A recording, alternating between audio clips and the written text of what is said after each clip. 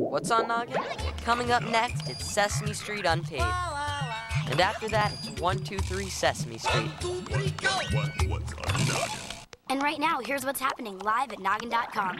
Radio Noggin. Listen here. This is one of the tracks you guys just made at noggin.com.